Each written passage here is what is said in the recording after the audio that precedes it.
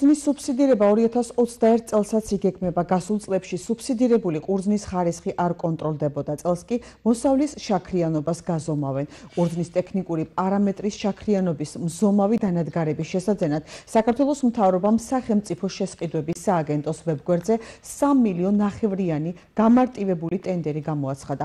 გურჯაანში მევენახეები მთავრობის ამ ინიციატივას მიესალმებიან. მათი თქმით, ყურძნის სუბსიდირება შეღავათი იქნება და გაწეული ხარ ხარჯების ანაზღაურებაში დაეხმარებათ. ცნობისათვის 2020 წლის რთველში საქართველოს მთავრობამ 104 მილიონი ლარის პირდაპირი სუბსიდია განახორციელა. ვენახის მოყვანა ძალიან ძვირიჭრება და თუ კირამით დაგვეხმარება მთავრობა და სუბსიდირებას გააკეთებს კურსის ფასზე, ყოველას წაადგება ეგ.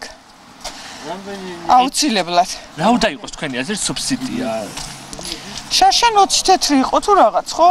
რამდენი? 30 თეთრი. 40-ზე თუ ასევენ, კარგი იქნება, მაგაზე უკეთესი რა უნდა გააკეთონ. ზოგადად რა უნდა ხდეს ეს? 40 1 კილოგრამი? როგორ შეიძლება ლარი და 20-ზე ქვევით იყოს რქაწითელი და საფერავი 2 ნახევარი მინიმუმ?